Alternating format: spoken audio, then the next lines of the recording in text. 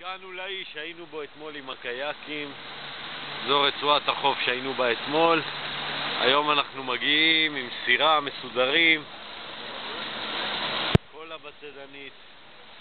שימו לב איזה מקום מדהים. אני נמצא על גג הסירה פה, כל החבר'ה למטה, גוררים כמה דמויים. איתי תפס סונית קטנה, פשוט מקום מדהים. השקיפות של המים פשוט מדהימה.